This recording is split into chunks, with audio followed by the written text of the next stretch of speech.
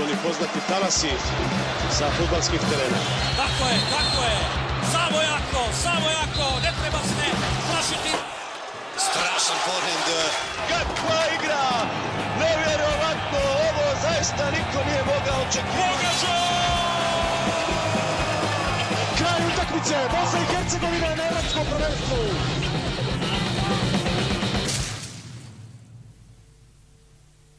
Dobro vam večer, poštovani gledalci, na početku još jednog izdanja naše emisije BHT Sport. Prije tačno 31 godinu Sarajevo je bilo sportski centar svijeta. Na današnji dan, 1984. godine, otvorene su 14. zimske olimpijske igre. Sanda Dubravčić je na stadionu Koševo upalila olimpijski plamen na početku igara koje su do danas ostale upamćene kao jedne od najbolje organizovanih. Tokom 12 dana za medalje se borilo 1437 sportista iz 49 zemalja. Prema procjenama više od 2 milijarde ljudi pratilo je prenose događaja sa olimpijskih borilišta. Mnogi sportisti poput Marije Lize Hamelainen, Gunde Svana, klizačkog para Torvil Din ili Jure Franka koji je za bivšu Jugoslaviju osvojio prvu medalju su u Sarajevu ušli u sportsku legendu. Osim osvajača medalja, kao pobjednici su se februara 1984. osjećali svi oni koji su dali nesebičan doprinos u organizaciji 14. zimskih olimpijskih igara, nezaboravnih u istoriji olimpizma.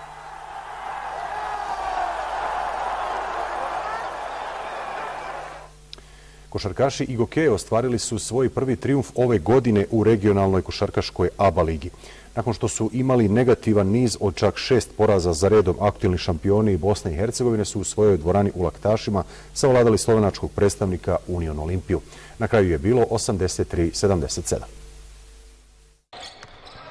Igokeja je konačno upisala pobjedu u regionalnoj košarkaškoj ligi. Nakon šest uzastopnih poraza, niza koji je trajao još od 23. decembra prošle godine, Igosi su savladali Olimpiju sa 83-77. Za razliku od prethodnog meča gdje je novi igrač Igosa Hayslip bio i heroj i tragičar, sada je Kanadjaninu pripala samo uloga heroja. Novi šuter domaće ekipe ubacio 32 poena, pogodio je šest trojki i dva šuta za dva poena i svih deset bacanja. Heislipa je sa druge strane barem u prvom dijelu pratio Prepelić iz Olimpije, jer je na Heislipovih 17 ubacio 16 pojena za goste. Ipak, kada je najviše trebalo, Kanadžin je pogodio trojku za 73-70, a onda i dvojku za 75-72. Ovo je šesta pobjeda i u regionalnoj ligi, a u narednom kolu gostuju MZT-u u Skopiju. Ovome treba dodati da je u okviru 13. kola regionalne lige za košarkašice još u četvrtak Čelik savladao tim Badel 1862 sa 66-55. Zenički tim je u B grupi trenutno na trećem mjestu sa 15 osvojenih bodova. Vidjet ćemo šta se dešavalo sada u domaćim košarkaškim takmičenjima. Košarkaši su igrali utakmice 17. a košarkašice utakmice 12. kola u muškoj konkurenciji. Spars se nakon prvog poraza ove sezone vratio na pobjednički kolosijek. Drugoplasirani finski sastav Svislajan Leotara je poražen. Evo rezultata Bosna Royal Heo 88-82, Široki Kakanj 74-61, Mladost Drinski 67-57, Sloboda Svislajan Leotar 84-72, Građanski Čelik 94-69 i Spars Varda Hidroelektrane 75-46. Spars je prvi 33 boda, Svislajan Leotar ima 29, Široki Kakanj po 27. Evo i rezultata 12. kola Lige za košarkašice, Sloboda Bugojno BHT 62-43, Jedinstvo BHTL, Mladi Krajišnik 93-75, Orlovi Impuls 85-54, Erem Ubanović i Željezničar 69-60. 12. februara igraće Brčanka i Rudar Sport, Jedinstvo BH Telekom prvo na tabeli sa 22 boda, Orlovi imaju 21, Rudar Sport 18, a Erem Ubanović 16. Trećom uzastupnom pobjedom ekipa Slobode i dalje u užem krugu ekipa koji će tražiti priliku za ulazak u samu završnicu prvenstva. Iako još ima dosta utakmica do kraja, Tuzlaci su u posljednje vrijeme podigli formu i igraju dobro, a savladali su Leotar sa 84 naprema 72. Znali su Tuzlaci da ih protiv ekipe iz Trebinja čeka težak zadatak, a prije svega borbenom igrom uspjeli su stići do važne pobjede.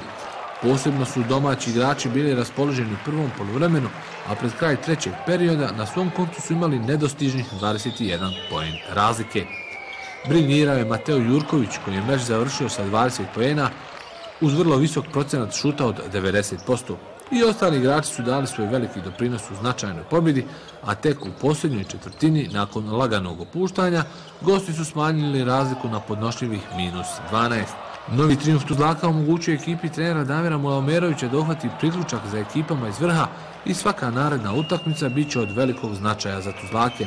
Osim Jurkovića, dobru partiju pružio i Hasandić sa 14 postignuti pojena, a kod gostiju bolji od ostalih bio je Radisaljević sa 15 ubačenih koševa.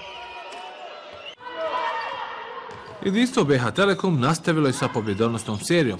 Protiv ekipe Banjalučkog mladog krajišnika ostvarena je 11. uzastupna pobjeda u prvenstvu, a na kraju su Tuzlanke slavile sa 93 naprema 75. Od samog početka utakmice jedinstvo je zauzelo ozbiljan kurs i plan, te su za relativno kratko vrijeme stigle do dvocifrene prednosti. Već u prvoj četvrtini povele su sa 26 naprema 13, a slično je bilo i u nastavku susreta. Tuzlanke se nisu opuštale, igrale su ozbiljno i odgovorno, pa su i preostale dvije četvrtine okončale u svoju korist. Tek u posljednjem periodu mladi krajišnik je bio konkurentan jer je slavio sa 21 prema 19, no već tada je utakmica bila rješena. Domaće košarkašice ostvarile su laganu pobjedu i sigurnim koracima grabe ka završnici prvenstva.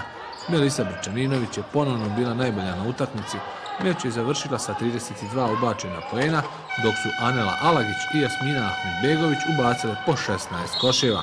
Kod gošći istakle su se Milena Rađenović koja je utakmicu završila sa 24 ubačena koša i Andreja Vuković sa 21 poenom. Nakon pauze od skoro dva mjeseca, rukometaši Banja Lučkog borca, aktualnog šampiona Bosne i Hercegovine, nastavljaju takmičenje u regionalnoj rukometnoj Seha Ligi. U pitanju utakmica 13. kola. Sutra Banja Lučani gostuju u Mađarskoj timu Vešprema, koji je na čelu tabele i za sada nema niti jedan izgubljen bod. Također, nakon dva mjeseca pauze, nastavljena je rukometna premijer Liga Bosne i Hercegovine za muškarce. Na rasporedu su bile utakmice 14. kola. U derbiju Čelik je savladao Derventu i preuzeo ponovo prvo mjesto na tabeli, jer je Sarajevska Bosna u ovom kolu poražena. Evo rezultata Lokomotiva Gračanica 29-35, Bosna Logošća 24-31, Gradačac Konjuh 27-25, Čelik Derventa 30-26, Izviđač Krivaja 34-27, Zrinski Bosna Visoko 33-28, Prijedor Sloboda 26-23, Čelik je prvi sa 35 bodova, Bosna Sarajevo i Izviđač imaju po 33, Derventa ima 30 bodova. Derbi 14. kola premijer lige za rukometaše u Zeničkoj areni odigrali su Čelik i Derventa. Domaći su opravdali ulogu favorita u ovom susretu, slavili su rezultatom 30-26 i tako nakon poraza Sarajevske Bosne, nakon 14. kola, zauzimaju prvu poziciju na tabeli. Domaći bolje otvare utakmicu i već nakon 10 minuta igre imaju vodstvo od 4 gola razlike odlično odrađenim zadacima u odbrani te fantastičnom realizacijom napada, tim Adnana Bašića nije dozvoljavao gostima da ozbiljnije ugroze vodstvo, te su na polovreme otišli sa vodstvom 14-10.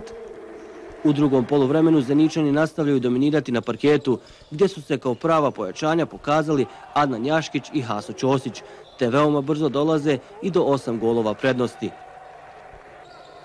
Do kraja su rukometaši Dervente u par navrata pokušavali da stignu za ostatak, ali ih je u tome u najvećoj mjeri spriječio raspoloženi golman Čelika Jasmin Hadžihasić. Najefikasniji u ekipi Čelika bili su Kadić sa 8, Jaškić sa 6, te po pet pogodaka Begagić i Mehinović.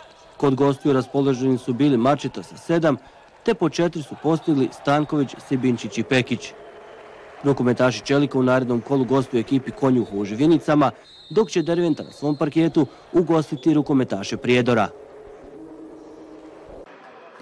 Otvaranje drugog dijela šampionata u premijer Ligi Bosne i Hercegovine donijelo je dugo očekivanu igru rukometaša Zrinskog, kojim bi mogli nagovijestiti opstanak u društvu najboljih ekipa.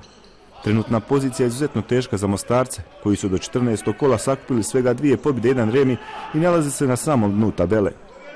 U susretu začelja rokometaši iz Rinskog su u svojoj dvorani na Bijelom brijegu pobjedili Visočku Bosnu rezultatom 33 naprema 28 i došli do desetog boda kojim su se popeli na 12. poziciju na tabeli dok je Bosna deseta sa 13 bodova. Prvo polovrijeme je bilo dosta neizvjesno, što govori i rezultat sa kojim se otišlo na odmah 15 naprema 14 za Zrinski, da bi nastavak donio dobru igru Mostaraca i na kraju pobjedu. U redima domaći istakao se Deli sa 11 golova te Mandari sa 7, Kod gostiju Grujić je 15 puta bio strijelac, a Hurem postigao 7 golova.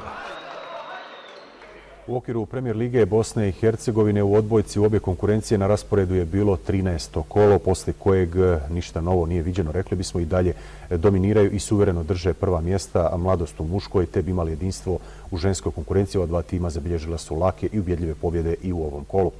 Evo sada svih rezultata, prvo ćemo vidjeti rezultate 13. kola u muškoj konkurenciji. Domaljevac jedinstvo 0-3, Gacko Bosna 3-0, Borac Mladost 0-3, Ilijaš Kakanj 78-2-3, te Radnik Modrića Optima 3-0.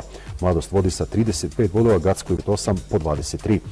U okviru 13. kola Lige za odbojkašice zabilježeni su ovi rezultati. Sloboda Tuzla Farm Vogošća 3-0, Hidroelektrane na Drini Modrića 1-3, Radnik Kula Gradačac 0-3, Bimal jedinstvo Gacko 3-0, te BL Volej Bihać Preminger 3-1. Bimal jedinstvo je prvo sa 39 bodova, Kula Gradačac ima 29, Bihać Preminger i po 26. Odbojkašice Slobode za samo sat vremena igre i savladale su Vogošću. Tuzlanke su deklasirale gošće sa 3 na 0, i u potpunosti su im se remaširale za poraz u prvom dijelu sezone. Samo u prvom setu gošće su pružale kakav takav otpor i parirale su slobodi, ali su na kraju ipak poklekle u prvom setu, kada je bilo 25 naprema 18 za domaće odbojkašice. Povele su sa 8-4, a sredinom seta je bilo 15 naprema 15. Čini se da je to bio maksimum Vogošće, koja je brzo pala u Mejdanu, a preostala dva seta su ekspresno okončana. U drugom je Sloboda slavila sa 25 naprema 10, a u posljednjem trećem Vogošća je osvojila 11 pojena. Zanimljiv je podatak da je u posljednjem setu rezultat glasio 11-11, a onda je Sloboda velikom serijom od 14 naprema 0 efektno rešila meč u svoju korist. Na kraju je to bila lagana i vjerljiva pobjeda Slobode, koja sada zauzima peto mjesto, dok je ovim porazom Vogošća na predposljednjoj devetoj poziciji. U nastavku vidjet ćemo i nešto što nam ne dolazi direktno sa sportskih terena. Svoj doktorski rad na Tuzlanskom univerzitetu odbranio je sportista vijeka grada Tuzle i naš bivši atletičar Zlatan Saračević. Ovaj događaj okupio je brojne poznate ličnosti iz svijeta sporta, među prisutnima bila je i naša TV ekipa. Sportista stoljeća grada Tuzla i bivši atletičar Zlatan Saračević uspješno je odbranio doktorat. Tuzlanski div, kako su ga odbine nazvali, svoje vremeno je uveo rotacijonu tehniku bacanja kugle, koja se i danas primjenjuje u atletici. Kad sam počeo e, da bacam kuglu, prvo sam upražnjavao obranjenu tehniku ili linearnu tehniku i sad posle dvije godine sa e, stečenom snagom e, opštom u obranjevoj i nije bio odgovarajući rezultat. Tako da i trener na jednom treningu Mohamed Latifović rekao, ajde da probamo rotacijenu tehniku. I odmah na tom treningu sam bacio kuglu dva metra, tako da sam eh, da smo odmah eh, prešli na rotacijenu tehniku. Saračević je danas angažovan kao trener i kada je okončao aktivnu karijeru, nastavio da prenosi svoja bogata znanja i iskustva na mlađe i naraštaje, a doktorskom odbranom zaokružio jednu cijelinu u svom sportskom životu. Te greške, e, e, kad sam se ja prestao baviti e, bacanjem, te iste greške sam primijetio i kod drugih bacača, a i danas, pratići bacanje kuli u svijetu, primjećujem da se te iste greške rotacijone tenije pojavljuju i kod mnogih bacača u svijetu. Tako da sam e, na osnovu toga e, došao, da kažem, e, na, na, na ideju da ovo istraživanje posvijetim baš tim problemima. Zanimljivo da je Saračević i dalje aktuelni rekorder naše zemlje u bacanju kugle. U Zagrebu je davne 1984. godine postavio rekord bacivši kuglu 21 metar i 11 centimetara.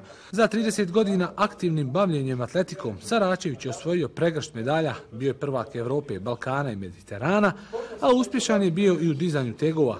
Čak 15 puta je bio prvak naše zemlje i aktuelni je rekorder, a u bivšoj državi se okitio sad tačno 10 titula.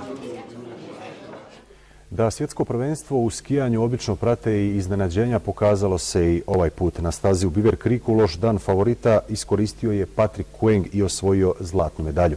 Ipak dosta razloga za zadovoljstvo imali su ovaj put i domaći navijači. Kada favoritima ne ide onako kako su priželjkivali, onda skijaši iz Sjene vode glavnu riječ. Ponovo je na stazi Birds of Prey bilo veoma uzbudljivo, a čak 15 skijaša je bilo unutar sekunde za ostatka. Patrick Weng je bio najbrži, što je ovom švajcarcu prva medalja na svjetskim prvenstvima, a ujedno i prva za švajcarsku nakon 18 godina u spustu. A i obojci drugih koji su kompletirali podijum, Travisu Genongu i Bitu Fojcu, su ovo također bile prve medalje na ovom takmičenju. Novi svjetski prvak je do sada ostvario samo jednu pobjedu u karijeri u svjetskom kupu u Vengenu prošle godine, dok je recimo u Ganongu najbolji rezultat na svjetskim prvenstvima bilo 18. mjesto, a do prvog triumfa u karijeri u svjetskom kupu u ovoj disciplini došao ranije ove sezone u Santa Katarini. Fojc je posljednji put pobjedio 2012. ali je recimo u trci svjetskog kupa ove sezone na ovoj stazi bio drugi. Tadašnji pobjednik i favorit broj 1 Ketil Janstrud, zajedno sa ostatkom skijaša koji se očekivao triumf kao što su Matijas Majer, Hannes Reichelt, su završili na 15. odnosno 12. i 13. mjestu. Za sam kraj emisije ostavili smo inostrani futbal. Futbaleri Minkenskog Bajerna ostvarili su prvu pobjedu ove godine u Bundesligi kao i Borussia iz Dortmunda koja se tako pomirila sa dna tabele.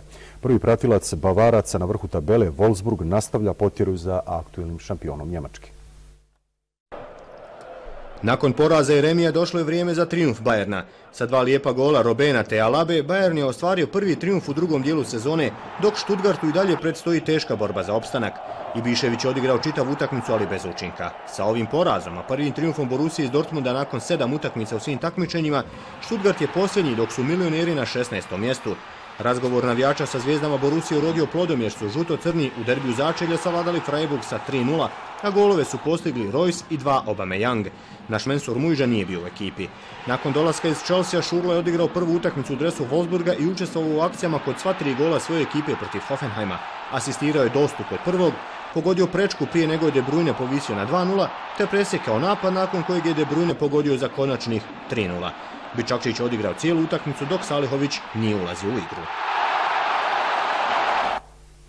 E, u toku je finalna utakmica 24. po redu Afričkog kupa nacija u futbalu. Igraju obala Slonovače i Gana. Utakmica je pri samom kraju. Drugi produžetak je u toku. Dakle, poslije regularnih 90 minuta bilo je 0-0. Tako je i sada. Vidjet ćemo ko će biti novi šampion Afrike. Bila je to i poslije informacija za večeras. Hvala vam za pažnju i želim vam laku i ugodnu noć.